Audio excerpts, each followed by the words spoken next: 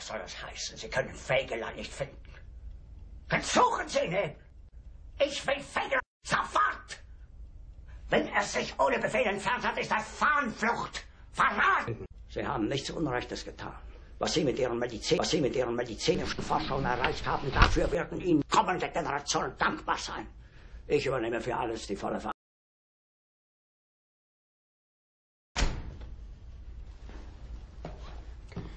Wir können den Gruppenführer Fegelein nirgendwo Bringen Sie mir Fegelein! Fegelein!